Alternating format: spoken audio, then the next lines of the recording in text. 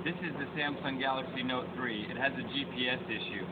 As noted in Android forums or Android developers, you remove 12 of these little tiny screws here. After you remove the 12, after you take the back off and remove the 12 tiny screws, take a little knife. This, oh, uh, guaranteed will void your warranty, and it will also do other bad things.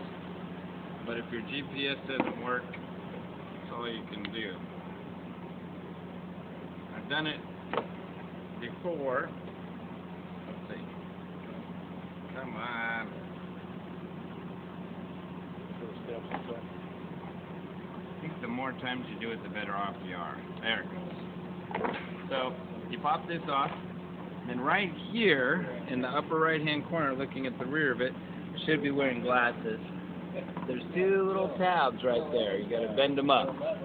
Those come into contact with this little GPS antenna. And when you sit on it or drop it, it bends them in and they don't come into contact with it. Bend those up, put the screws back on, and it's fixed. That's it. Thank you.